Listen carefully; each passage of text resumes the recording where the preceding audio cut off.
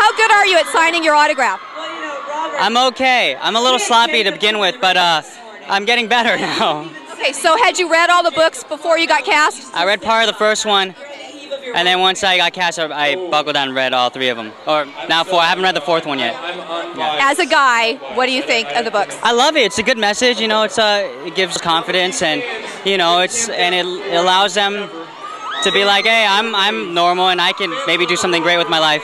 So I think it's a good a good inspiration. So where do you stand on the whole vampire versus wolf issue?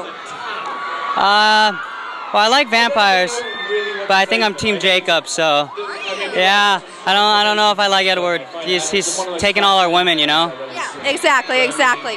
So what about the fact these vampires don't have fangs? What do you think of that?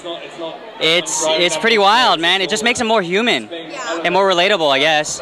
It also makes them much more vicious killers because it's kind of gross. Yeah, yeah. So some of these guys have been here since like five o'clock last night. Have you ever felt so passionate about a book or a movie that you would do this? It is. Not yet. I hopefully something will make me. Yeah. I know. I was thinking like, is there any book in our past that would have done this? Yeah. No, not for me. Yeah, yeah, not for me yet. What do you think Twilight fans will think about the movie? Uh, I think they'll really enjoy it. I think they'll be. It's gonna meet their expectations. They're really gonna like it. The, that bar set really high. Set high, but I think. but uh, I think uh, Catherine did an amazing job, and Summit did an amazing job, and I think it's it's they're gonna be happy.